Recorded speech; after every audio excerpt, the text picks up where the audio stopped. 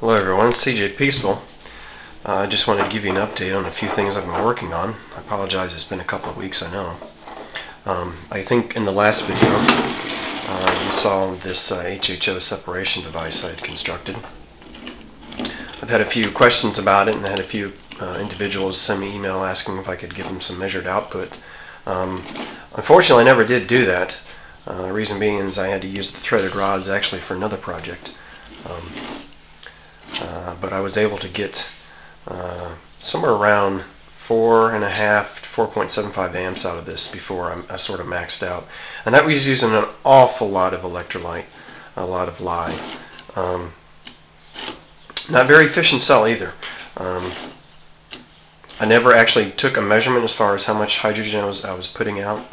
Um, but it was uh, it was enough to fill a couple balloons actually. It never really overheated, so that was that was a I think that's a good characteristic of this design. Uh, the gases, as I showed in another video, never never uh, uh, seem to to uh, cross between the chambers. Uh, there's no contamination there ever, even at the higher amps.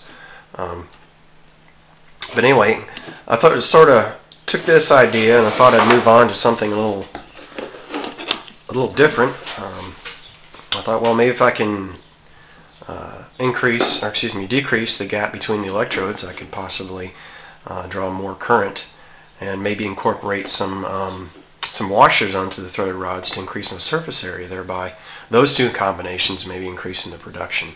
Um, that worked out okay. I think I I ran into about six, six and a half amps was about the maximum I can get out of this configuration.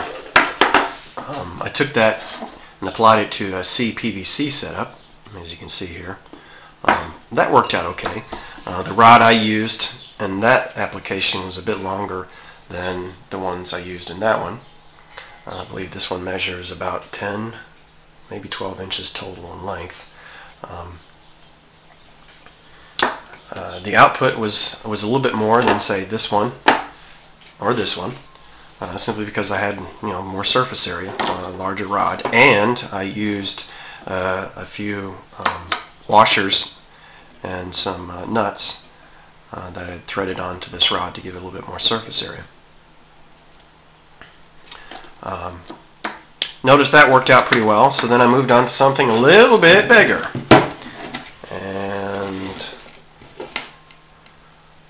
this is two and a half inch, or excuse me, two inch diameter PVC piping. Um,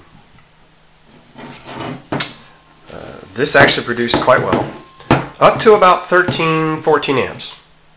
Um, after that, the material, the solution got too warm, and as you can see, um, kind of got a little bit of distortion there in the tubing. Things started kind of warping and melting a bit.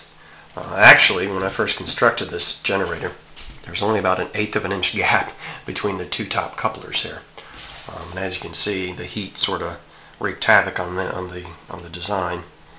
Uh, but I did not, I'm going to repeat, repeat this, I did not have the heat issue until I was above about 12 amps. Um, then I noticed the temperature of this generator um, just shot up like a rocket. Um, I think I was, before I hit 12, I was staying around 115, 120 um, degrees on the surface temperature here of the tubing. Uh, that was that was fairly consistent for about a week. Um, after that, once I once I increased the amperage by increasing my, my electrolyte um, to about 15 amps or so, uh, the temperature exponentially increased um, to about 100 and, I think it's about 160, 170 degrees, and that's when I noticed the warping and the fittings here uh, was no longer creating an airtight seal. And as you can see, maybe in the video here, a little bit fuzzy, the indentations of the washers actually started melting into the cap. Uh, these are the electrodes flat plates, more surface area. No neutral plates. These are all tied together with stainless steel washers. Um, again, it produced quite well. I was able to get 250 milliliters of hydrogen-only gas um, in about two minutes. Actually, about two minutes and two seconds. Um, anything above that, and uh, again, this started. Uh, the heat was was creating a problem with the with the tube. So that's where I'm at. Um, I think I'm going to start working with acrylic since that seems to uh, be a much better product uh, other than PVC as far as temperatures go. Um, and we'll see what happens and we'll, uh, we'll go from there. Yeah, I'm working on a dry cell. That's another video for another time.